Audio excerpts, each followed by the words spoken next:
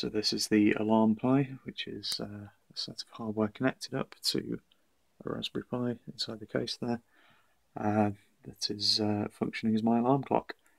So we've got a 7 segment LCD, uh, LCD display, a couple of buttons, a luminosity sensor on the top there. Uh, there is an amplifier just inside there, which is connected up to a couple of speakers on the outside. And uh, you can just see a little USB sound card in there as well. So all these are connected together, and there is a Python script running on the Pi, uh, which takes the inputs and uh, forms into an alarm clock. So that was obviously displaying the time. Got an information display giving me the current weather and when uh, the alarm clock is set for. There's a rotary encoder on top here I can use to access some menu options, change uh, the volume, the, uh, the station, to automatically set the alarm, to manually set the alarm, to put it into holiday mode so uh, the alarm won't go off every day and annoy the neighbours, uh, to play and stop the radio, and uh, also to restart the machine. So around the back of the case here we can get a better view of the Raspberry Pi running inside there. It's got a USB sound card attached to the top and uh, down there is the little amplifier. You can see the breadboard connection is just slightly hidden by the uh, the cable running out of the GPIO pins on the Pi. Uh, power is provided through these two external sockets here, one uh, the bottom one being the USB connection, the top one being a network connection. Uh, decided to go with a wired connection rather than wireless um, because the Wi-Fi reception in this uh, this room isn't particularly great.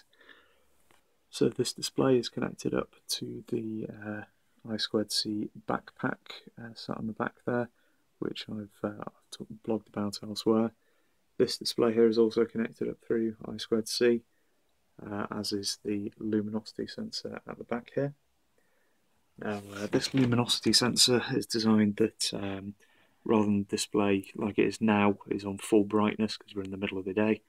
Whereas if I cover that up, you'll see it's going to be a bit hard to see on the video. Uh, but the display has now dimmed down to uh, to a lower brightness, so uh, you don't get dazzled by this at night. There we go, and it brightens back up again once I've uh, uncovered the sensor. There's one extra little thing I've uh, attached on the top there, which is uh, an NFC tag. This is programmed so when I tap my phone on it in the evening, it will register with the lights in my house to say that I've gone to bed and to, to turn the lights off.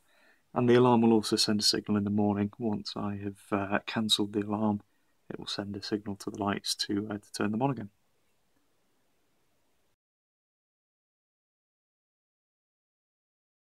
starting up.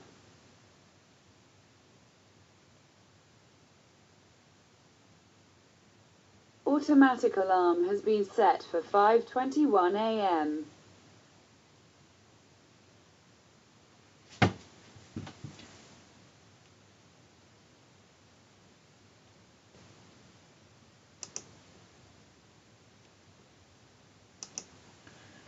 Manual alarm has been set.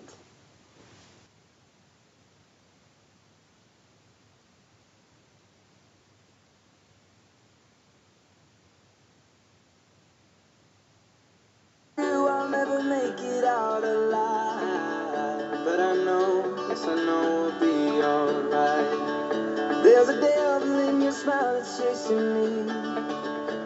And every time. Good afternoon, Matt. Today is Friday, the 7th of November. The time is 3:40 p.m. The weather is currently light intensity shower or rain. Temperature 10 degrees. Wind 230 degrees at 13 knots. QNH 994 hectopascals. Automatic alarm has been set for 5.21 am.